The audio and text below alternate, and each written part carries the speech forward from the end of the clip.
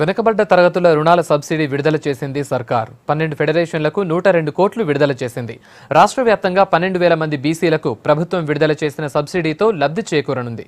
నిధులు విడుదల చేసిన ముఖ్యమంత్రికి కృతజ్ఞతలు తెలిపారు మంత్రి జోగురామన్న.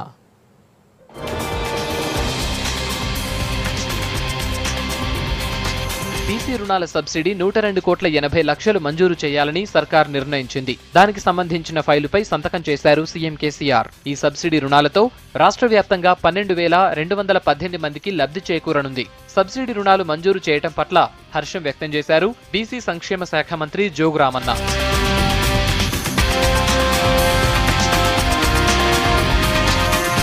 రెండు వేల పదిహేను పదహారు ఆర్థిక సంవత్సరానికి బీసీ కార్పొరేషన్కు చెందిన ఎనిమిది వేల ఎనిమిది వందల ముప్పై ఐదు మంది లబ్ధిదారులకు డెబ్బై ఒక్క కోట్ల డెబ్బై మూడు లక్షలు అందనున్నాయి. నాయి ఫెడరేషన్కు చెందిన తొమ్మిది వందల ఆరు మంది లబ్ధిదారులకు ఎనిమిది కోట్ల నలభై లక్షలు కుమ్మరి వర్గాల వారు ఎనిమిది వందల ఆరు మందికి ఆరు కోట్ల డెబ్బై తొమ్మిది లక్షలు ఇవ్వనున్నారు. విశ్వ బ్రాహ్మణ వర్గాలు ఐదు వందల ఇరవై మూడు మందికి ఐదు కోట్ల తొమ్మిది లక్షలు వడ్డర వర్గాలు రెండు వందల అరవై తొమ్మిది మందికి రెండు కోట్ల నలభై రెండు లక్షల సబ్సిడీ మొత్తం అందనుంది. రజకులు రెండు వందల పదహారు మందికి కోటి తొంభై ఐదు లక్షలు గీత కార్మికులు నూట ముప్పై ఎనిమిది మందికి కోటి నలభై లక్షలు సగర కులానికి చెందిన నూట ఇరవై నాలుగు మందికి కోటి ఇరవై నాలుగు లక్షలు ఇవ్వనున్నారు. కృష్ణ బలిజ వాళ్ళు నూట యాభై ఒక్క మందికి కోటి ఇరవై రెండు లక్షలు మేదర్లు నూట ఎనభై ఏడు మందికి కోటి ఇరవై ఒక్క లక్షలు వాల్మీకి బోయలు ముప్పై మూడు మందికి ముప్పై మూడు లక్షలు భట్రాజు వర్గానికి ముప్పై మందికి ముప్పై లక్షల చొప్పున సబ్సిడీ మంజూరు చేసింది ప్రభుత్వం.